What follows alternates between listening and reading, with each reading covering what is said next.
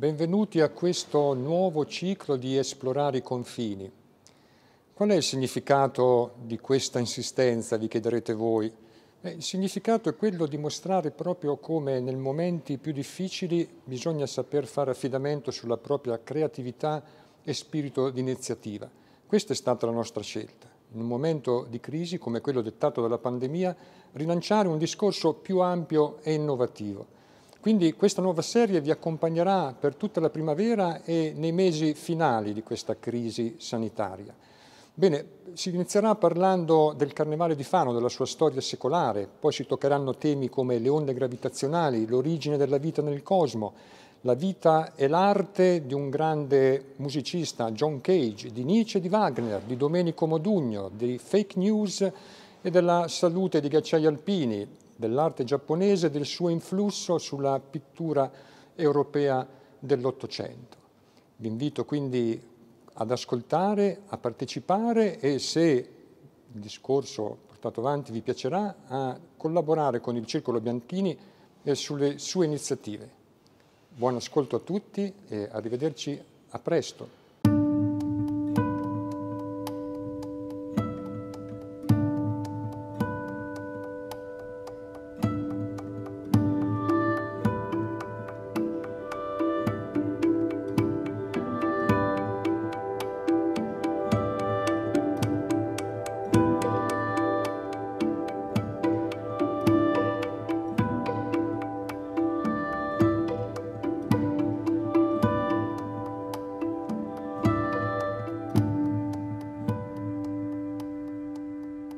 Benvenuti alla nuova puntata di Esplorare i confini, una produzione del Circolo Bianchini. Io sono Rodolfo Battistini e vi parlerò eh, del Giappone eh, e eh, le sue conseguenze che eh, la civiltà giapponese ha avuto sulla pittura europea dell'Ottocento.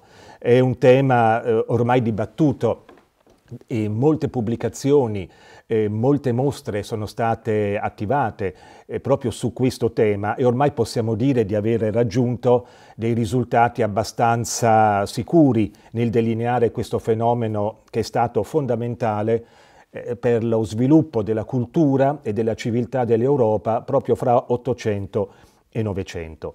Eh, la riscoperta del Giappone è avvenuta essenzialmente, come tutti sapete, dopo il 1853, quando eh, la flotta americana eh, guidata dall'ammiraglio Payne eh, eh, si è fermata davanti a Tokyo, alla capitale, minacciando di bombardarla se il Giappone non avesse ripreso i rapporti con il mondo esterno eh, che eh, erano stati nel corso della sua storia molto altalenanti.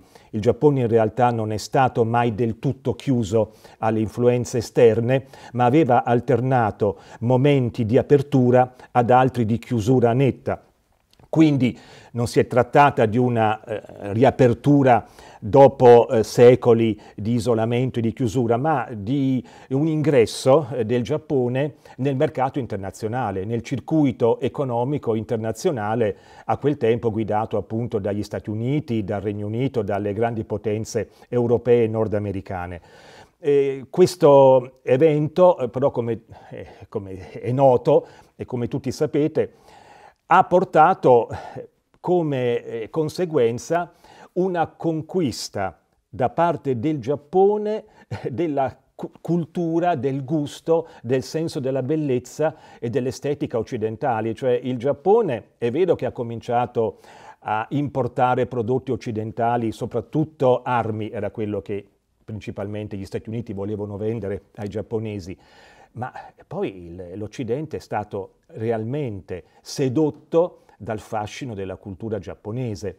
E quindi eh, il, il fenomeno, eh, l'evento storico forse ha più giovato eh, che nuociuto al Giappone e oltretutto ha permesso a questo arcipelago eh, un processo di modernizzazione condotto proprio dalla casa imperiale, guidato dagli imperatori che si sono succeduti al trono dopo il 1000, soprattutto dopo il 1868, dicevo, ha, consen ha consentito al Giappone di diventare quello Stato modernissimo che è oggi, conservando però dei tratti fondamentali della propria tradizione, della propria cultura.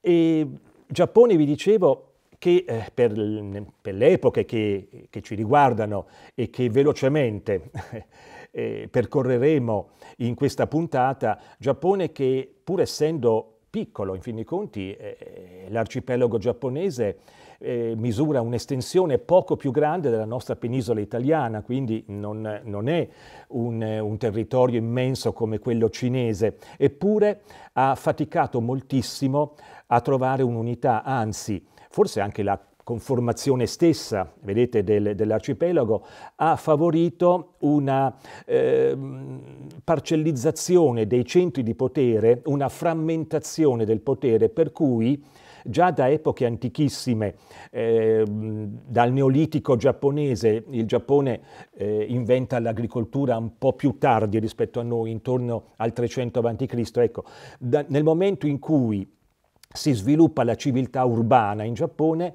e, e si forma anche un eh, fenomeno eh, molto molto accentuato ehm, che precede eh, l'analogo fenomeno storico europeo, cioè eh, il feudalesimo. Il Giappone ha sin dall'inizio una struttura feudale, il suo territorio viene diviso in tanti feudi guidati appunto eh, da questi nobili che sono anche molto riottosi nel eh, obbedire e nel seguire eh, le direttive della corte imperiale.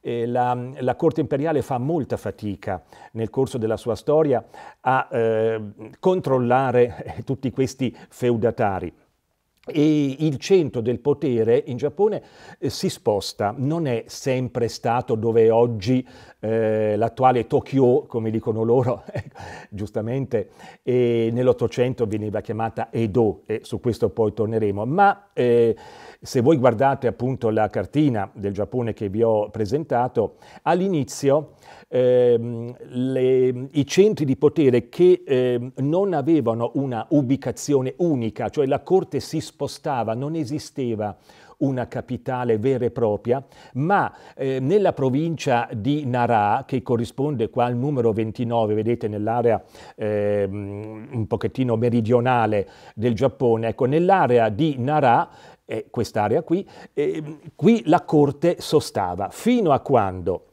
nel 794 non viene stabilita una vera e propria capitale, che corrisponde qua vedete al numero 26 della cartina, eh, Kyoto, noi in, Ita- in, Italia diciamo Kyoto, ecco, e, ehm, e questa eh, rimane capitale, sede della corte imperiale, fino al 1868.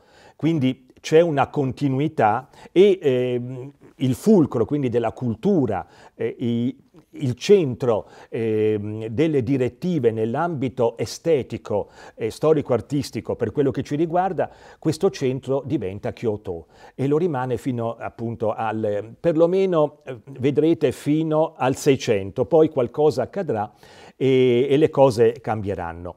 Eh, la frammentazione eh, della società giapponese in tanti feudi eh, guidati da eh, nobili militari che eh, conducevano eh, anche una vita militare, quindi erano dei guerrieri, eh, noi la eh, troviamo espressa anche nella più antica produzione artistica giapponese come ad esempio eh, queste terracotte, eh, sono vedete piccole eh, statue di terracotta che venivano parzialmente interrate sopra le sepolture di questi nobili e che eh, ci eh, riportano, ci restituiscono l'immagine di questi aristocratici guerrieri che erano appunto il fulcro della società di allora. Quindi già dalle, dalle espressioni d'arte più antiche, noi abbiamo il quadro eh, della situazione politica giapponese.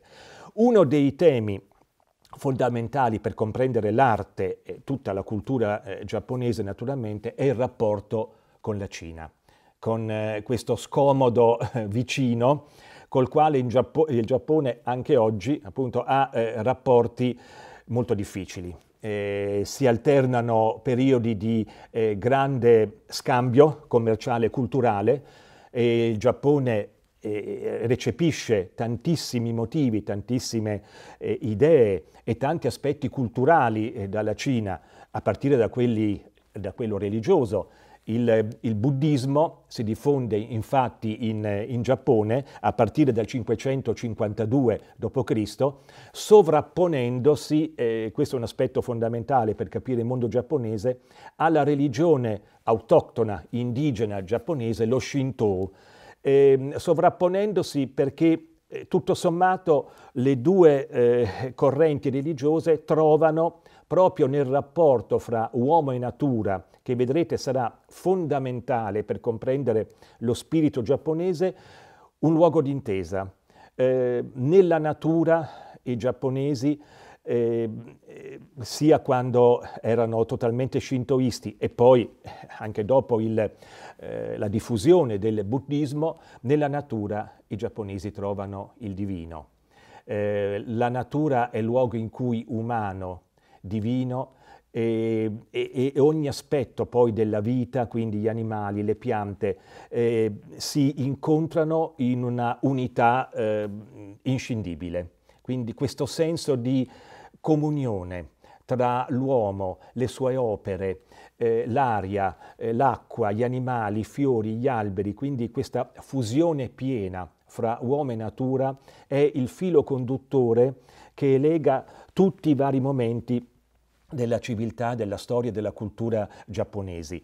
A cominciare, vedete, già dalle espressioni architettoniche. Noi purtroppo abbiamo eh, pochi edifici eh, che risalgono al, a quello che corrisponde il nostro Medioevo e l'età moderna intatti. Eh, il materiale da costruzione era essenzialmente il legno in Giappone così come in, in tante parti dell'Asia e quindi questi edifici sono andati soggetti a, a, incendi, a distruzione e sono per lo più ricostruiti, pochissimi, pochissimi sono originali.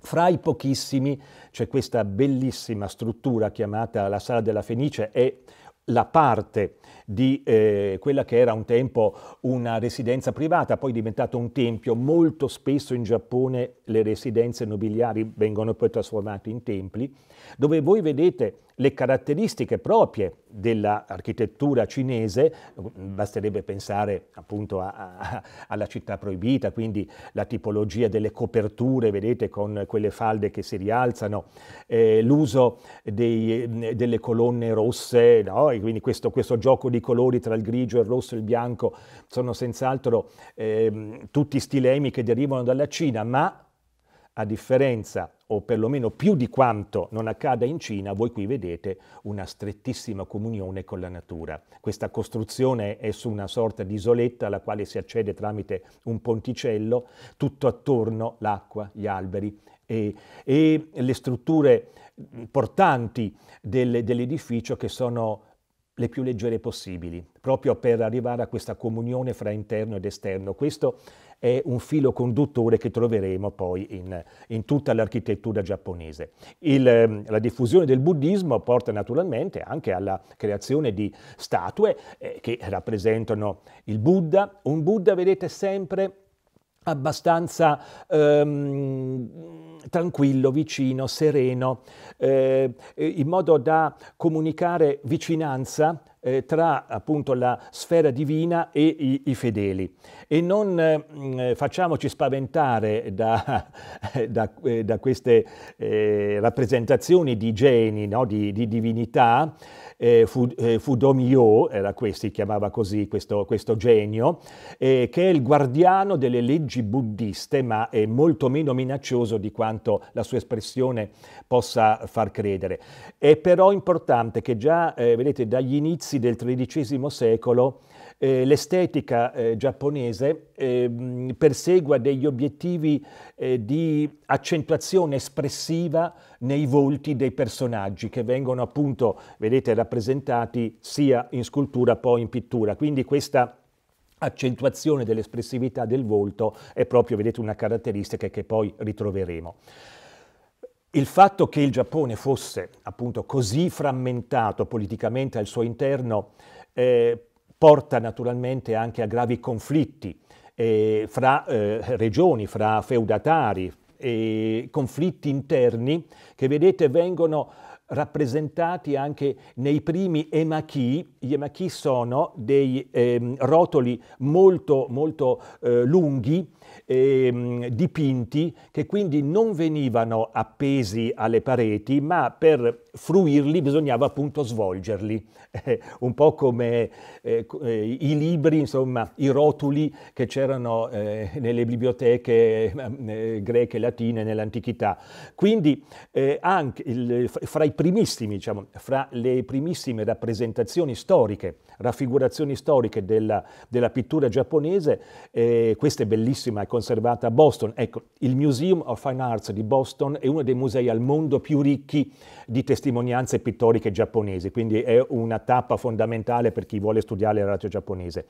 Voi vedete appunto la rappresentazione di conflitti, di guerre, eh, conflitti, che, questo è, è, solo un particolare delle Maki che è lunghissimo, eh, che vengono descritti in tutti i minimi particolari, sia eh, con eh, riguardo agli effetti che naturalmente un conflitto eh, produce sulle città, sugli abitati, gli incendi, le distruzioni, ma anche tutte eh, le situazioni che possono riguardare appunto gli esseri umani. Questa frammentazione, ehm, questa divisione politica interna, naturalmente, porta la Cina a eh, eh, pensare che il Giappone sia una facile conquista, un paese diviso eh, può essere conquistato eh, diciamo in maniera fa- eh, facile. E nel 1251 Kublai Khan eh, cerca di invadere il Giappone. Eh, allestisce una flotta potentissima e i giapponesi eh, rischiano veramente di perdere la propria indipendenza perché la disparità di forze è troppo grande, ma una tempesta eh, distrugge la flotta cinese. E quindi eh, abbiamo l'intervento del vento divino, kamikaze, il, il, termine che poi verrà appunto a indicare nella seconda guerra mondiale coloro che si eh, buttavano sì, gli, gli, aviatori che si lanciavano sulle navi americane per distruggerle, appunto il vento divino, kamikaze, la natura che è intervenuta appunto per difendere il Giappone. Ora, un altro aspetto per comprendere questa cultura straordinaria è anche, eh, da, da, tenere presente, è anche la penetrazione all'interno del mondo giapponese della filosofia zen, quindi del buddismo zen. E avviene soprattutto tra la fine del 300 e i primi eh, del 400, quindi tra la fine eh, del eh, mille, ecco, 1399, così 1380, 1399 e i primi del, del 1400. il pensiero zen influisce moltissimo sulla, sulle arti visive, sulle concezioni estetiche dei giapponesi, eh, perché eh, la visione dell'arte, lo Zen eh, attribuisce moltissima importanza all'arte perché l'esperienza artistica può portare alla, alla illuminazione definitiva. Quindi l'arte è un veicolo fondamentale per arrivare appunto alla illuminazione. Eh, ma quale arte? Ecco, un'arte semplice, un'arte mm, che non sia troppo artefatta, un'arte che non, de- non, deve perseguire necessariamente la perfezione, anzi abbiamo nel, nella filosofia zen proprio l'elogio della imperfezione, ehm, un'arte che ehm, rende estetici in senso positivo anche i segni dei tempi. Eh, per esempio eh, il segno del tempo, dell'usura che si produce su un oggetto. Ecco, non è un fattore negativo, ma positivo. E infatti eh, un oggetto che eh, i giapponesi consideravano preziosissimo, eh, questo vassoio Negoro, vedete che oggi è conservato a New York, al Metropolitan Museum of Art, è una, un vassoio in lacca, vedete, ma con eh, tutti i segni della consunzione, con i graffi del tempo, che addirittura eh, impreziosiscono eh, l'oggetto. Ecco, è qualcosa che è estraneo, un principio estraneo alla nostra concezione estetica e invece, vedete, rientra pienamente nel mondo giapponese. E, ehm, la, eh, la, chiusura eh, dei rapporti con la Cina dopo il tentativo di eh, conquista da parte di Kublai Khan fa sì che la cultura e l'arte giapponesi acquistino tratti più peculiari, più indipendenti rispetto chiaramente alla, all'influenza cinese e anche l'architettura, vedete, diventa sempre più leggera, sempre più aperta e in comunione con la natura. E qui siamo a Kyoto, appunto la, eh, la, vecchia capitale, e vi faccio solo vedere due edifici fra i pochi che si sono conservati, non dico intatti, sono stati eh, poi eh, ripristinati nel 600, però insomma conservano molto bene l'aspetto, l'aspetto originario. Vedete, sono anche queste residenze private che poi sono state trasformate in templi buddisti, ma vedete come siano strutture leggerissime, vedete, questo è il, in italiano il padiglione d'oro e il padiglione d'argento, vedete, strutture molto leggere, ehm, all'interno praticamente non ci sono pareti in muratura, sono pannelli eh, in, in, legno oppure, oppure in stoffa, ecco. e in perfetta comunione con la natura, quindi architettura e natura sono un tutt'uno. E poi eh, proprio uno degli esiti della penetrazione della filosofia zen è la creazione del giardino, vedete? Del, del, giardino eh, che in realtà è costituito di sassolini, di rocce che vengono appunto curate e, e, e, e mm, pulite e sistemate tutti i giorni e, e sarebbe abbastanza vano cercare magari un significato eh, simbolico, metaforico di questi eh, giardini secchi, giardini zen. Eh, questo bellissimo che si trova sempre in, nel complesso che vi ho fatto vedere prima a Kyoto, dove c'è appunto il, eh, il padiglione d'oro e quello d'argento, potrebbe rappresentare l'emergere magari di montagne, di cime montagnose sopra la nebbia, sopra una distesa di nebbia, così dicono alcuni studiosi, ma mm, non è che sia fondamentale. E finalmente inizia, vedete, si comincia a diffondersi la grande pittura giapponese. Ehm, eh, abbiamo visto prima gli emaki, cioè eh, rotoli che eh, si svolgono per metri e metri, eh, ma ehm, i, diciamo, i dipinti che potevano essere appesi in qualche modo alle pareti erano di formato verticale come questo, quindi vedete dei, eh, delle bellissime tele verticali, oppure orizzontali. E ehm, questi, queste tele possono anche essere attaccate, per esempio, applicate a dei paraventi. Quindi possono anche eh, queste, queste, opere essere richiudibili, eh, mobili eh, e non legate eh, necessariamente all'architettura. Il paesaggio, vedete, è di, sempre è l'elemento fondamentale. Un, una civiltà che eh, mette la natura al centro e il rapporto uomo-natura e divino al centro della propria ricerca artistica non può che prestare grandissima attenzione al paesaggio. Pensate che noi siamo qui alla fine del 400 e mm, in Italia eh, la storia del paesaggio eh, non è ancora del tutto iniziata a queste date. I primi paesaggi veri e propri li abbiamo in Germania, li fa Aldorfer, eccetera, ma in Italia per arrivare per esempio al paesaggio, alla pittura di paesaggio, ancora avremo della strada da fare, invece in Giappone, vedete, è già, è già un tema eh, consueto. Ecco.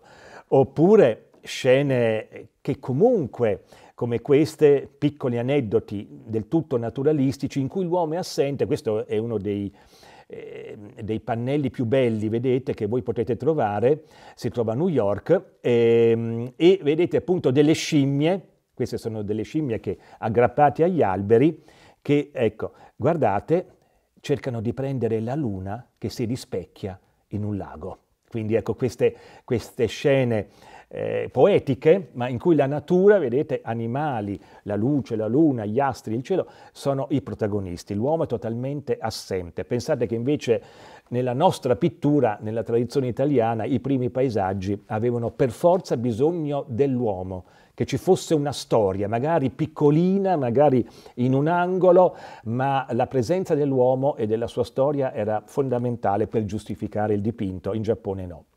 Il 1543 è una data eh, estremamente importante.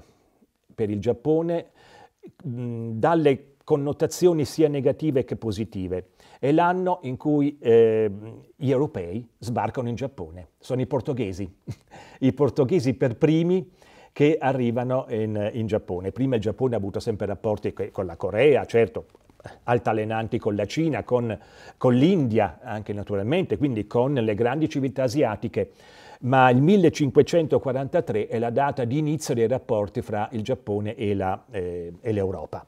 E vedete in questo splendido dipinto che si trova a Tokyo, proprio eh, l'arrivo, l'arrivo, dei giapponesi, un dipinto successivo, siamo nei, ai primi del Seicento, ma eh, riporta proprio questo evento, la caracca con i, i portoghesi che eh, arrivano, con tutti i loro vestiti, il pittore ci tiene moltissimo a eh, delineare, vedete, a, a, a, stabilire le differenze anche di abbigliamento fra gli orientali e, e, i, e i, giapponesi e, e gli europei e eh, insieme questa delegazione, vedete, di notabili eh, portoghesi è però eh, arricchita dalla presenza molto molto eh, evidente e sulla quale il pittore, vedete, insiste, dei gesuiti.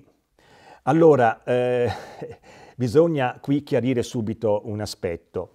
Ehm, gli europei all'inizio sono ben accetti, anche ehm, i, i, rappresentanti della Chiesa Cattolica inizialmente sono accolti molto bene, quando però i giapponesi si rendono conto, dopo pochi decenni eh, dal, dal, dallo sbarco, dall'arrivo, che ehm, la Chiesa Cattolica dipende da un eh, sovrano straniero, che eh, appunto c'è lo Stato pontificio, c'è il Papa, cioè il Romano Pontefice.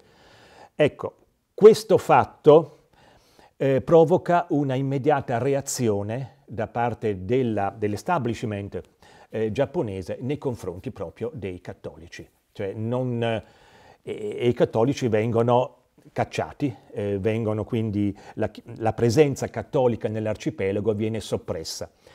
Eh, questo eh, fatto, sul quale per carità si potrebbe poi, io non sono uno storico, quindi eh, lascio a loro eh, le ricerche e i commenti sul caso, ma a me serve per ehm, far capire che d'ora in poi, dal, quindi dai primi del 600 in poi, i, eh, gli, euro, gli, europei con i, quali Giapponi, con i quali i giapponesi vorranno più volentieri avere a che fare sono gli olandesi perché l'Olanda era una potenza eh, commerciale eh, molto attiva nell'Oriente protestante e, e, quindi gli olandesi non erano dipendenti eh, dal eh, romano pontefice, e quindi da un capo di Stato assoluto che era anche capo religioso. Eh, con i, gli olandesi calvinisti i, eh, i, giapponesi non avranno nessun problema e quindi il Giappone per molto tempo avrà, vedete, la, eh, un po' eh, la prerogativa di essere, eh, cioè, la, scusate, l'Olanda, ecco, l'Olanda avrà per molto tempo la prerogativa di avere una sorta di esclusiva nei rapporti commerciali e culturali con il Giappone. Ehm, la conoscenza comunque eh, della, della, cultura europea porta, vedete, anche a cambiamenti nell'architettura eh, giapponese. I giapponesi eh, a questo punto, quando costruiscono i loro castelli, eh, cominciano a pensare che magari l'utilizzo delle tecniche costruttive europee più solide eh, possa permettere una maggiore eh, durata, quindi nel tempo, delle loro strutture. Eh, la situazione interna giapponese con tutti i conflitti fra feudatari poi ha reso vana questa speranza.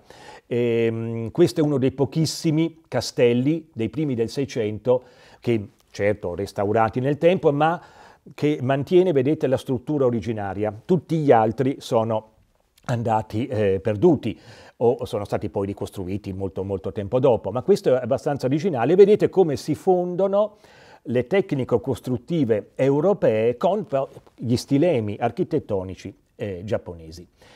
È il momento in cui, vedete, il passaggio tra il 500 e il 600 è il momento in cui eh, si diffonde anche la cultura delle cerimonie, eh, le cerimonie del tè, cioè si delineano quei codici di comportamento che saranno poi fondamentali per comprendere il mondo giapponese che tuttora e che tuttora eh, rendono eh, il Giappone un paese unico. E quindi questi codici comportamentali aristocratici che nascono e si diffondono nelle dimore aristocratiche e che fanno sì che ogni momento della giornata sia un rito, un rito con le sue, con le sue leggi, con, con il suo protocollo. E il momento della degustazione del tè, del tè, sapete che è uno dei momenti topici proprio della vita giapponese e c'era nelle dimore ehm, nobiliari una sala apposita con, vedete, una nicchia eh, in cui era messo un dipinto, era collocato un dipinto sulle pareti o un bellissimo vaso di porcellana con i fiori, comunque era il luogo dove c'era un'opera d'arte, dove c'era un'opera d'arte magari con anche eh, rami fioriti che riportavano la natura all'interno della, della stanza. Naturalmente eh, la pittura, vedete, ha una straordinaria, eh, uno sviluppo, una diffusione straordinaria. Eh, il momento forse più alto eh, della cultura giapponese, dell'arte giapponese, è proprio questo che eh, voi avete tra la fine del Cinquecento e i primi del Seicento. E questo è un capolavoro assoluto questo cipresso che si trova a Tokyo e vedete appunto formato, un dipinto formato da tanti pannelli che poi messi insieme, vedete, possono appunto anche eh, costituire un separé. Ci tengo a farvi notare quando tra poco vedremo eh, splendidi dipinti di Van Gogh, questo insistere sulla, sullo sviluppo, vedete, dell'albero con tutte le mm, diramazioni, con tutte le deformazioni che il tempo ha prodotto sulla pianta, come se la pianta avesse sofferto nella, nel suo vivere, nel, nel, nel, corso della sua esistenza, avesse lottato appunto ehm, contro il tempo e contro l'avversità per, per, vivere. Questo è un aspetto che, vedrete, conquisterà moltissimo Vincent van Gogh. Ma guardate cosa sono capaci di fare i giapponesi all'inizio del Seicento, ma immagini che di una modernità eh, straordinaria questo dipinto Pini, eh, che si trova appunto a Tokyo, nel Museo Nazionale di Tokyo, eh, utilizza per rendere eh, la nebbia, eh, l'aria, no? che, che sembra, eh, dalla quale sembrano emergere i pini, semplicemente il colore di fondo. Quindi il pittore ha, degli, ha dipinto eh, i, eh, i, pini gradualmente con una eh, pellicola pittorica sempre meno spessa, sempre più tenue, in modo quasi da fondere alla fine la, la forma eh, dell'albero con appunto lo sfondo bianco, eh, creando questo effetto eh, straordinario eh, di, di, di, nebbia eh, e di vuoto. Ecco, siamo nel 1600, il vuoto, vedete, ha la stessa valenza espressiva del pieno in quest'opera, ma noi ci arriveremo molto più avanti sarà Mozart no? dare alla pausa un valore espressivo nelle sue composizioni ecco, e, vedremo, dovremo arrivare a Klimt per, alla secessione viennese per attribuire eh, valenza appunto eh, significante al vuoto nelle opere d'arte. Ecco, I giapponesi già nel Seicento eh, davano al vuoto questa straordinaria importanza. E poi anche opere, vedete, di, sono di una simpatia e anche mh, di una tenerezza a volte straordinarie.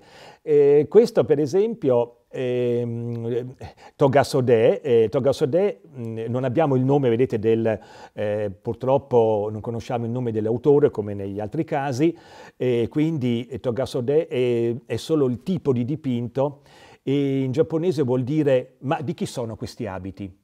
Cioè questo, questo dipinto vuole rappresentare, vedete, la nostalgia per una persona che non c'è più, che se n'è andata, ma ha lasciato i suoi vestiti. Eh, appesi, è come no, guardare in un armadio gli abiti di qualcuno che non c'è più e, e quindi eh, no, la, il nostro animo è pieno di commozione. Quindi un, sono momenti straordinariamente, ecco, anche eh, raffinati ma soprattutto attenti alle piccole cose, piccoli momenti anche della vita quotidiana, ai quali si dà la stessa importanza dei grandi eventi. Cioè il mondo giapponese, vedete, non fa differenza le piccole cose contano come appunto quelle che noi riteniamo grandi. Anche in questo, vedete, la cultura europea dell'Ottocento eh, sarà debitrice anche per questo aspetto.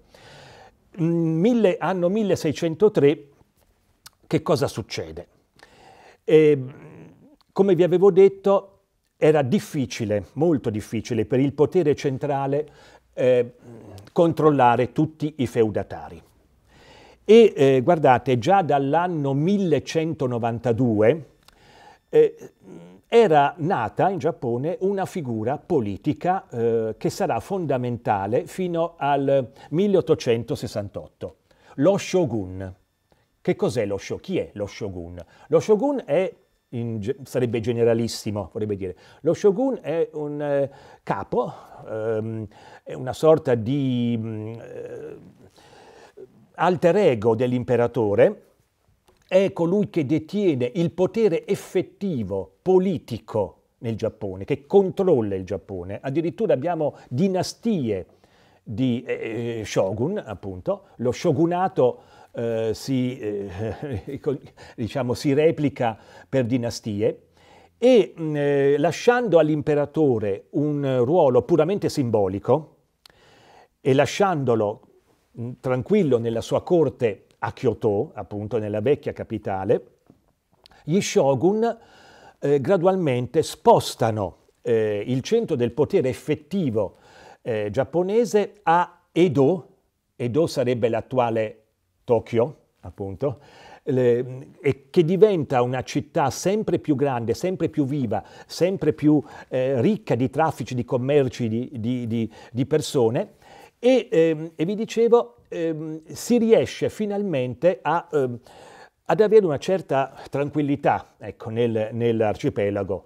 E, ehm, qual è eh, l'espediente che gli shogun utilizzano per controllare ehm, i nobili, i feudatari? Obbligarli, a partire dal 1603, obbligarli a risiedere tutti almeno sei mesi l'anno appunto ad Edo, nella capitale shogunale, diciamo. Attenzione, eh, questi nobili non è che possono avere a Edo una sola casa, ne hanno tre, tre residenze, una per se stesso, una per la consorte, una per il seguito. Le spese che i nobili giapponesi devono affrontare per mh, mm, eh, mantenere queste residenze a Edo, per mh, mm, eh, finanziare i trasferimenti da Edo alla, ai loro feudi, che possono essere anche lontanissimi, sono infinite. La nobiltà si indebita e cresce, vedrete, una, e si, si rafforza una classe borghese costituita di mercanti, eh, di mm, eh, banchieri, eh, di, eh, sar, eh, stilisti, eccetera. De personaggi dediti al, al, divertimento, quindi teatro, sport, eh, case di piacere, quindi si crea una società che appunto eh, ha un dinamismo e una ehm, capacità nel far circolare il denaro e nel fare affari paragonabile a, la, eh, a quelli che saranno gli Stati Uniti nell'Ottocento.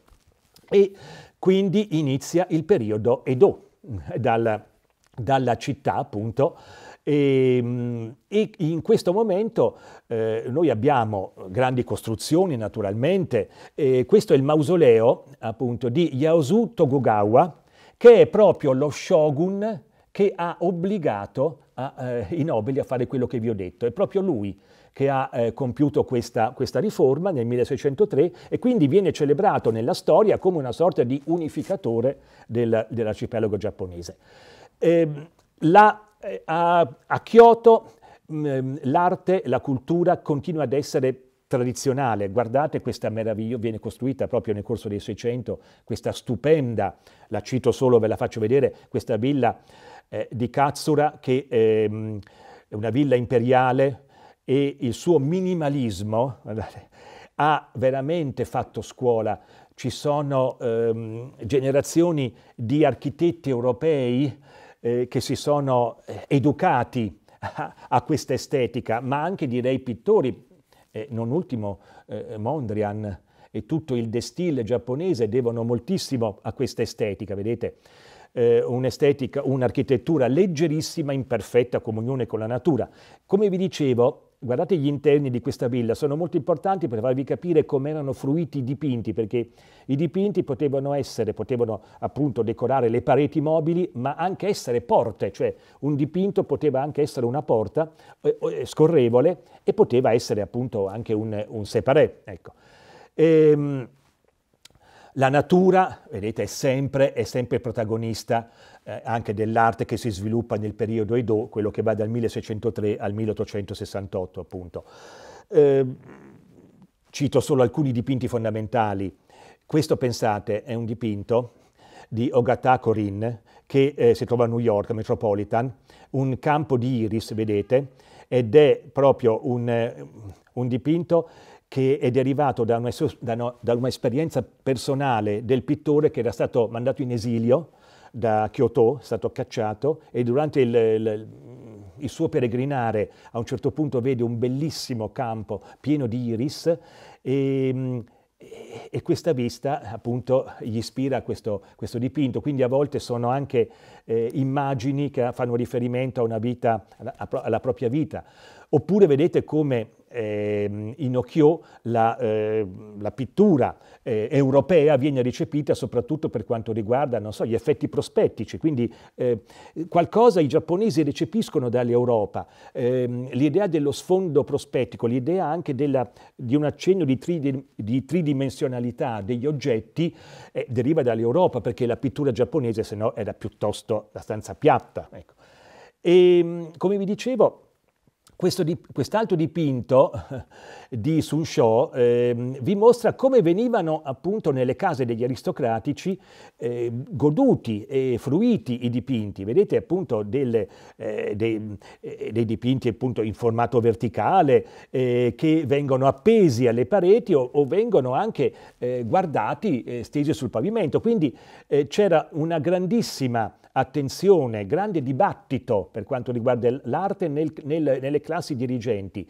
E vedete anche un separé, eccolo qua, un pannello che può fungere anche da separé o da parete, che appunto è un, un dipinto.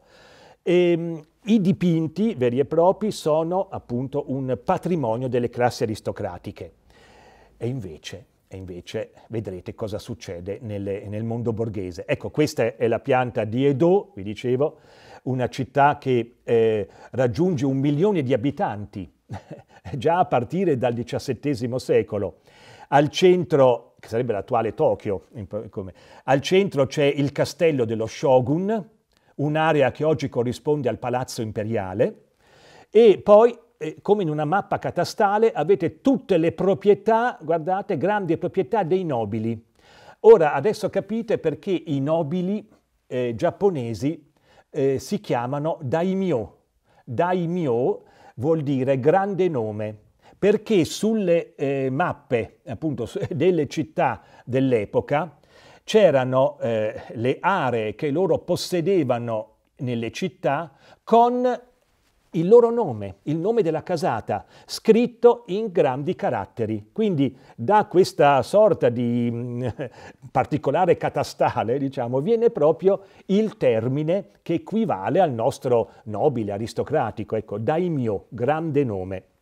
E potete vedere appunto l'estensione della città. Ecco, questo era il castello, vedete, del, eh, di Edo, dove abitava lo shogun, Oggi la medesima area è occupata dal Palazzo Imperiale. Palazzo Imperiale che conserva quasi nulla del vecchio castello di Edo, sono edifici moderni, ma eh, occupa, insiste sulla stessa area di una città, vedete, immensa come l'attuale Tokyo. Ora vi dicevo questo mondo eh, che poi conquista eh, gli europei è un mondo che si diverte. A, a, a Edo c'è lo Yoshivara, che è un quartiere, è il quartiere dei divertimenti, il quartiere dei piaceri, eh, dove avete eh, i teatri, dove appunto ci sono le rappresentazioni del kabuki e, mm, e, gli attori del kabuki insieme con i lottatori di sumo diventano eh, famosi come i, nostri, come i nostri attori e le stampe che riproducono questi personaggi eh, si diffondono e vengono acquistate a migliaia. Quindi la nobiltà continua a fruire dei dipinti veri e propri. La borghesia che, eh, che cresce intorno a, a, a, ai Do eh, invece acquista stampe. In genere sono litografie, eh, scusate, sono xilografie, cioè stampe co con una matrice di legno, appunto, che derivano dalla matrice di legno, e sono eh, di una qualità strepitosa, straordinaria. Eh, gli editori faranno, diventeranno i miliardari dell'epoca, insomma, e, e, ci sarà una, un commercio eh, enorme, quindi una diffusione enorme di queste stampe. Questa è una appunto di quelle stampe che vedete, rappresentano l'intero di un teatro. E questi sono le, i ritratti degli attori più famosi, vedete, e, e, guardate se le loro espressioni non ricordano quella della statua del guardiano delle leggi del, di Buddha che abbiamo visto prima. Attori eh, che interpretavano sia parti maschili che femminili. Questo era un attore, eh, Tomizaburo eh, era un attore famosissimo che interpretava appunto eh, parti femminili, ehm, come, appunto, come nell'antica Grecia e in parte anche in Europa fino a un certo punto eh, le, le, donne non potevano eh, calcare le scene, quindi le parti femminili erano appunto eh, interpretate da, da, attori uomini. Ma sono i, i divi dell'epoca e, e, le loro, e le stampe che riproducevano i loro volti eh, erano diffusissime. Volti, ecco. È chiaro che ehm, Saracu è uno, vedete, dei più grandi pittori eh, autori di queste, di queste immagini. Eh, i, mh, mm, gli autori di queste, di queste stampe, di, questi, di queste immagini, eh, cercavano sempre di operare una sintesi tra quelli che erano i caratteri idealizzati della bellezza, i canoni della bellezza giapponese e i tratti somatici specifici del personaggio. Quindi li vedete tutti un po' somiglianti mh, mm, perché, eh, come nell'antica Grecia, c'erano appunto dei canoni di bellezza ideali, ma eh, all'interno del canone c'è sempre qualche aspetto specifico del personaggio. Ecco, i lottatori di sumo, è molto particolare l'idea di rendere proprio la muscolatura, come un po' così, eh, con questi rigonfiamenti, anche questo è piuttosto convenzionale come, come, come metodologia. E, e, poi, ecco, le vedute del quartiere di appunto Oshibara eh, era un quartiere chiuso, eh, c'erano delle porte e io presento solo alcune immagini di questo pannello, vedete che ehm, è lunghissimo, è un rotolo eh, di 6 metri eh, praticamente, e, mm, dove voi vedete eh, l'ingresso nel quartiere di Yoshivara del, di tante persone che entrano in questo quartiere dei divertimenti e dei piaceri. Ehm, c'erano vie che si intersecavano, eh, case da tè, eh, negozi e soprattutto eh, era diffusissima ed era qui ammessa la, la prostituzione, c'erano appunto eh, le, le, case dove stavano le cortigiane, eh, più o meno di lusso, eh, quelle che non potevano rifiutare i clienti, vedrete, abitavano ecco, in ecco, stavano in ehm, ambienti con delle grate, quindi la presenza di queste grate eh, indica ehm, eh, che lì esercitavano le prostitute diciamo, più economiche, mentre le cortigiane eh, di lusso avevano eh, le porte aperte, avevano, eh, vivevano in questi ambienti aperti. Quindi un, un mondo eh, che non, non, eh, non dormiva mai, era la città che viveva di notte, quindi animatissima, e, ed è questo mondo, vedete che poi è il, il punto di ispirazione, l'oggetto di ispirazione di tanta, di tanta eh, arte giapponese di questo momento. Famosissime erano le, le beltà, vedete, le, le giovanissime cortigiane che eh, vivevano in questo ambiente. Utamaro è uno Kitagawa Utamaro è uno dei più grandi artisti, autori di queste eh, stampe che appunto riproducono le bellezze di Yoshiwara. Eh, è l'interprete del fascino femminile, questa è un'immagine allegorica eh, le tre stelle della felicità, vedete, eh, la figura ammantata rappresenta appunto la felicità, la, la, signora con un bambino la salute e la donna anziana la longevità, vedete eh, il tutto in, questo, eh, in, questa immagine molto molto eh, sintetica ehm, con le tre figure che campeggiano, vedete, su uno sfondo eh, uniforme. Ecco, questo dipinto rappresenta eh, il mercante eh, di, di stoffe Hiei e la cortigiana Koharu, che non potendo coronare il, il loro amore con un matrimonio, date le eh, convenzioni eh, dell'epoca, si suicidano. E eh, questo è il momento, vedete, in cui loro eh, guardano la lettera che, eh, vedete, Hiei tiene in mano, la lettera in cui spiegano le ragioni del loro gesto. Quindi, mm, insisto su questo, l'arte che noi stiamo adesso scorrendo velocemente tratta ehm, nello stesso modo, con la stessa importanza della vita di tutti i giorni, dei piccoli aneddoti quotidiani e ugualmente delle tragedie. Quindi momenti tragici, momenti leggeri sono vissuti all'interno di questo mondo, di, questo, di questa arte, vedete, con lo stesso piglio. È ehm, il mondo che viene definito ukiyo-e, cioè questa civiltà che si sviluppa a Edo a partire dal, dai primi del Seicento viene chiamata appunto ukiyo-e, cioè immagine del mondo fluttuante. Cioè sono immagini che colgono appunto dei momenti, dei momenti di vita, eh, dei paesaggi, degli aspetti della natura e li eternano per sempre, sottraendoli dalla consunzione del tempo.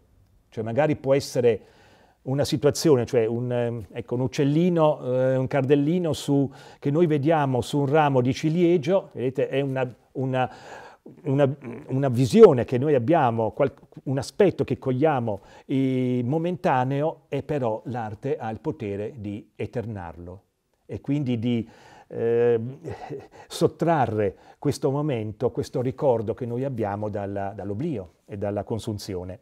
Anche momenti come questi, qui siamo Katsushika Okusai è uno dei tre grandi protagonisti dell'ukiyo-e, appunto Utamaro, eh, eh, Okusai e Hirosige, vedremo.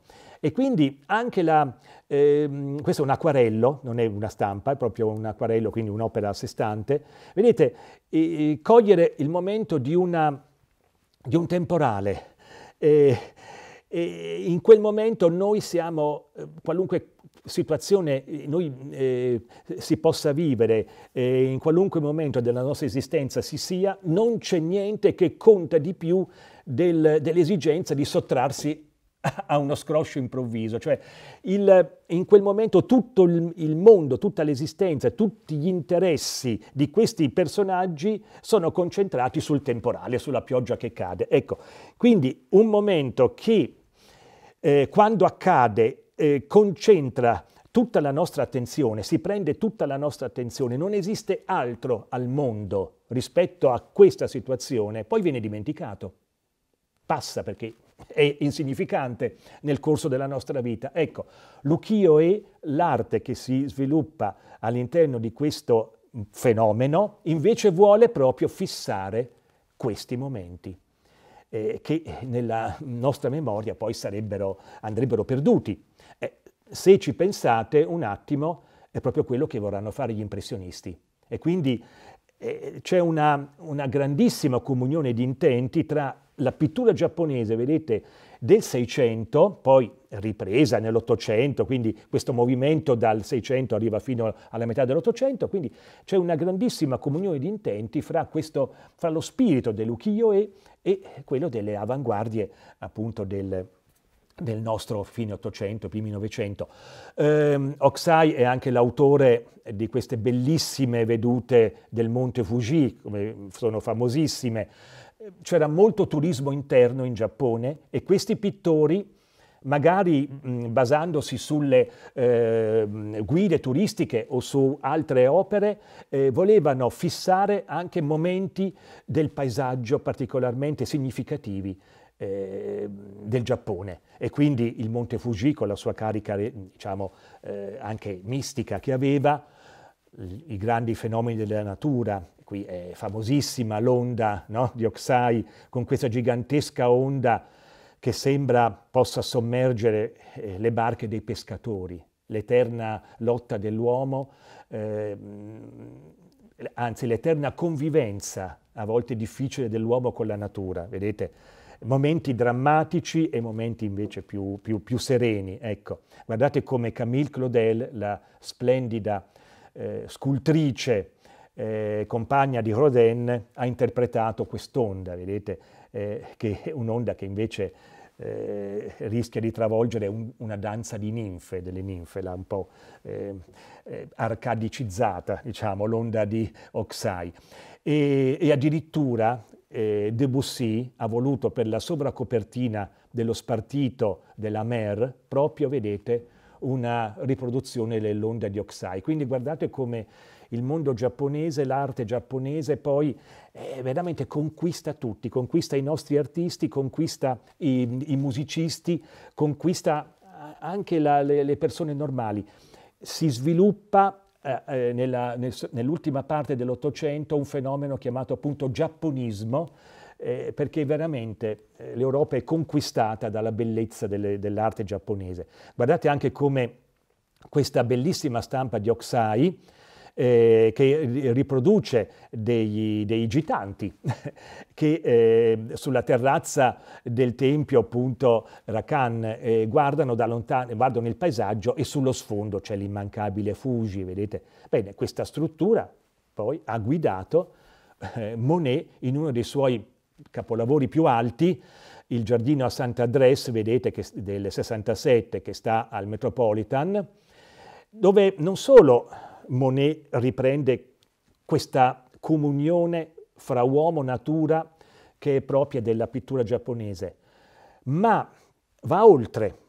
Qui siamo in Occidente, siamo nelle, nell'Europa eh, delle varie fasi della industrializzazione ottocentesca e allora in questo mondo, vedete, trovano una perfetta armonia, oltre agli uomini, ai, alle bandiere, ai fiori, ai dettagli del, dell'arredo di questa terrazza che si affaccia, di questo giardino che si affaccia sulla Manica, vicino alle Havre, anche il, i prodotti della industrializzazione, della tecnologia industriale, le navi alla fonda, vedete, in attesa di entrare nel porto di Le Havre con i comignoli fumanti che noi oggi farebbero pensare all'inquinamento. E quindi sarebbero una nota un po' stonata in questo, in questo ambiente e, e, che invece nell'Europa eh, positivista, eh, entusiasta dell'industrializzazione della modernità, anche il portato appunto delle tecnologie che sono alla base della, dell'industria eh, hanno una valenza eh, estetica positiva. Quindi le navi alla fonda con i loro comignoli, che in realtà inquinano il cielo, sono un fattore estetico positivo. Quindi eh, Monet eh, fonde il Giappone con che poi, quello che è poi il pensiero, la visione europea. L'ultimo ehm, protagonista dell'ukiyo-e eh, che eh, io vi faccio vedere è appunto Utagawa, eh, Utagawa Hiroshige, anche lui sulla scorta dei predecessori eh, si dedica alle vedute di Yossibarà, di questo quartiere, di questa città nella città che appunto viene descritta con eh, vivacità e facendoci proprio percepire l'animazione delle sue vie, ma eh, come anche eh, fece il suo più diretto predecessore Oksai, si dedica alla illustrazione dei luoghi famosi, molto noti eh, presso i giapponesi, eh, paesaggi e località particolarmente belli, che si trovavano lungo ehm, le rotte di comunicazione tra la, quella che ormai è la nuova capitale, Edo, eccola, e la vecchia, Kyoto, vedete? C'erano soprattutto due strade, due strade eh, che avevano poi tante stazioni di posta, e attraversavano anche tanti paesaggi e, e quindi è proprio a, alla mm, rappresentazione di, questi, di, queste località che si dedica appunto ehm, principalmente il nostro, eh, il nostro artista. Eh, le due strade erano Tokaido, quella più breve, quella che appunto era più vicina al, all'oceano, Kisokaido era la strada interna. Ora vedete ancora una volta eh, i, Rossi, eh, i Rossi che si mh, mm, concentra su questi fatti, su questi momenti particolari eh, o addirittura in questa sua splendida poetica nella quale paesaggio e umanità si fondono, guardate come riesce quasi a non farci percepire, seguite bene ecco, eh, la mia indicazione, guardate questo corteo, è lo shogun che si sposta con tutto il suo corteo in mezzo appunto a, alle colline, vicino al, al, lago, vedete, e voi quasi, o anche un particolare, ecco, voi quasi non avvertite la differenza forse percepite i copricapi, ecco, e, le, e, i bagagli, eh, ma veramente l'uomo è perfettamente fuso con, con la natura. Anche, guardate, quest'altra immagine, eh, sono le, la serie Le 53 appunto stazioni di posta del Tokaido. Guardate come questi viaggiatori che ammirano eh, lo splendido paesaggio, dove c'è anche l'immancabile Fuji sullo sfondo, guardate come il loro chinarsi, protendersi verso, appunto, verso la baia è, è accompagnato dalla eh, conformazione del paesaggio stesso. Quindi a sottolineare, a sottolineare, sempre questa fusione fra uomo e natura. E poi queste, questi straordinari momenti del, della natura e del paesaggio giapponesi. Io ne ho tolte perché altrimenti non finirei più. Eh, questa è l'illustrazione, questa serie appunto si intitola Illustrazioni dei luoghi celebri delle 60 e oltre province il ponte della scimmia, questi ponti, vedete, che eh, eh, collegano quasi questi, questi, strapiombi, questi canyon fra, eh, fra loro. Guardate che meraviglia questa spiaggia con i pini, vedete che arrivano fino quasi al, uh, al mare, la spiaggia, la spiaggia, della danzatrice, come questa conformazione appunto così sofferta eh, nel corso del tempo dei pini poi influisce su Van Gogh. Guardate questo splendido, i campi dell'ospedale, siamo nel penultimo anno di vita di Van Gogh, lui è, è a Saint-Rémy, ricoverato a Saint-Rémy de Provence, eh, dopo le sciagure e le sventure eh, che ha subito, e guardate come attribuisce la stessa dinamica contorta e sofferta ai pini dell'ospedale, esattamente come voi avete visto nelle stampe appunto eh, giapponesi. Vi dicevo i gorghi, anche i grandi fenomeni della natura, paesaggi come queste, questi faraglioni, vedete, che sembrano eh, delle spade, che appunto suggeriscono eh, spade. E vi dicevo soprattutto poi, eh, sempre i Rossighe, eccolo, guardate, ancora torna su questi momenti, eh, questi aneddoti, no? l'improvviso acquazzone che coglie questi viaggiatori su questo ponte. Bene, guardate cosa fa Van Gogh. Van Gogh proprio riprende eh, e reinterpreta a modo suo questa splendida stampa, eh, accentuando proprio con l'acromia, con lo spessore materico eh, della pittura, la componente drammatica ed esistenziale appunto di, di questa situazione. Van Gogh eh, era innamorato del Giappone, dell'arte giapponese, aveva una grande collezione di stampe giapponesi, una di queste che rappresenta, vedete, una famosa cortigiana o Iran, ehm, lui la riproduce in un suo dipinto, questa è la riproduzione di una sua stampa giapponese, vedete, e la, la, cortigiana è inserita all'interno di una cornice naturalistica, come se fosse un quadro che vola, no? sospeso in una, in una, sorta di stagno, vedete, con le canne, le ninfee, gli aironi, eccetera. È la stessa, vedete, cortigiana che voi trovate anche sullo sfondo di questo ritratto di Pierre Tanguy. Pierre Tanguy era il mercante che riforniva di colori Van Gogh e tutti gli impressionisti, tutti i pittori eh, eh, operosi a Parigi alla fine dell'Ottocento.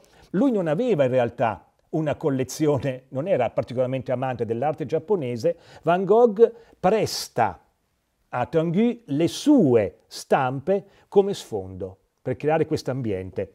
La stessa cosa che fa, vedete, um, lo stesso prestito che fa a Agostina Segatori, una um, ex prostituta che eh, era riuscita a non morire di tisi o, o di altro e, e con eh, i soldi guadagnati aveva allestito un caffè, il caffè Le Tambourin, vedete dal, beh, dalla forma dei tavolinetti, a forma di tamburello, e vedete per arredare questo caffè che rappresenta il riscatto per Agostina, che è arrivata con, insomma, dal suo volto, vedete, dalla sua espressione, si vede quello, il prezzo che ha dovuto pagare per l'indipendenza, per essere una donna libera. Ecco. E lui presta ad Agostina, vedete, le sue stampe che compaiono sullo sfondo. Ecco. Van Gogh pensava di aver trovato il Giappone in Provenza, scriveva al fratello e agli amici come Gauguin, venite in Provenza, qui c'è il Giappone, non c'è bisogno di andare no, nell'estremo oriente. E quindi, eh, come i giapponesi, era affascinato dallo spettacolo degli alberi in fiore a primavera e sono dipinti che lui appunto esegue proprio alla maniera del Giappone. Guardate questo stupendo, eh, questo particolare de, del mandorlo fiorito, se non potrebbe sembrare a prima vista proprio un quadro giapponese. Quindi eh, Van Gogh ha avuto un ruolo di primo piano nella diffusione del giapponismo in Europa. Ma non solo lui. Guardate questa stampa sempre eh, di Hirosige che appunto eh, rappresenta alcuni luoghi famosi di Edo della capitale con questo ponte particolare, eh, ma voi lo ritrovate anche in Whistler, eh, Whistler interpreta Londra quasi eh, in chiave giapponese, attribuendo a un ponte londinese, vedete, una forma che richiama quella dei ponti giapponesi. È un, uno spirito molto diverso da quello di Van Gogh. Qui siamo in un simbolismo diverso che, ev- che evoca mistero, ehm, un simbolismo più virato verso una concezione estetizzante anche dell'esistenza ma ugualmente debitore del, appunto, del, dell'influsso del Giappone, così come anche, ancora questi particolarissimi ponti, Monet. Monet si fa costruire a Giverny, a 50 km da Parigi, un giardino intorno alla casa che lui compra, dove passerà poi eh, il resto della sua vita fino alla morte nella metà degli anni venti, si fa costruire un giardino e con delle strutture giapponesi. Quindi eh, Monet vivrà in una sorta di piccolo Giappone trapiantato in Francia, ricreando ambienti, atmosfere giapponesi. Ma guardate come anche Stampe come queste, sempre di, vedete, il, è sempre Hirosige, e, mh, eh, è una stampa ispirata a un giardino, bellissimo giardino di Susini, molto famoso a quel tempo, oggi non c'è più, c'è tutte le case. E, questo, e, e, e, guardate come interpreta ancora una volta questa fatica di vivere no? Del, eh, di, questa, di questo Susino, e come questo particolare, questi rami che tagliano proprio la composizione, saranno poi ripresi da Van Gogh, vedete, nel seminatore al tramonto, ma anche dal suo amico Gauguin, nella splendida visione dopo il sermone, questo tronco d'albero che proprio taglia diagonalmente la composizione. eh, indicando che non, non, si ricerca nessuna eh, profondità prospettica e che la pittura non deve più essere mimetica della realtà, e recuperando, vedete, una sorta di assenza di spazio che rende la pittura sempre più spirituale, sempre più rivolta a eh, valori altri. Eh, anche Gauguin riprende, eh, ma guardate questi, i manga erano appunto delle... Um, dei libri con tante stampe dove c'erano eh, anche dei suggerimenti per la danza, eccetera. E mh, questi sono vari passi di danza, eh, sempre da, questo è Oksai, e mh, un po' sgraziati naturalmente, un po' scherzosi, beh, le stesse posizioni che riprende poi Degas nelle ballerine di, del Metropolitan di New York, vedete?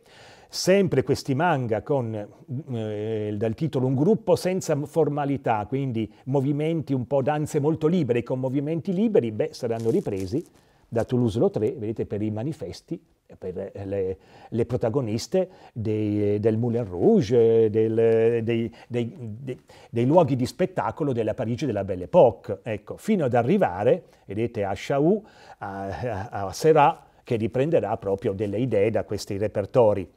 L'amore per il Giappone, per la sua arte, per la sua cultura, può avere anche delle declinazioni ironiche, eh, scherzose, come in questo ritratto di Camille Monet, che è la, la moglie di Claude Monet, vestita appunto alla giapponese è un eh, sintomo diciamo, eh, scherzoso, ironico della mania che aveva contagiato eh, la società francese non solo, ma tutta la, la società europea e nordamericana, appunto questo, questo, contagio per l'amore nei confronti del, della civiltà giapponese. Quindi vedete Camille con un kimono e con tutti questi ventagli intorno a lei. Ventagli, vedete, un tipico ventaglio ventaglio giapponese e poi ritorna, sempre in Whistler, in questa immagine venata di malinconia, eh, un'immagine post-romantica, eh, calata in una, in una, connotazione, in un'atmosfera pienamente simbolista. Quindi vedete